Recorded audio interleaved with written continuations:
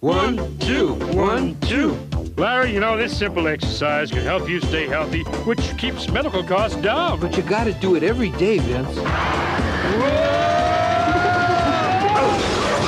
or you'll get out of shape fast. You could learn a lot from a dummy. Buckle your safety belt.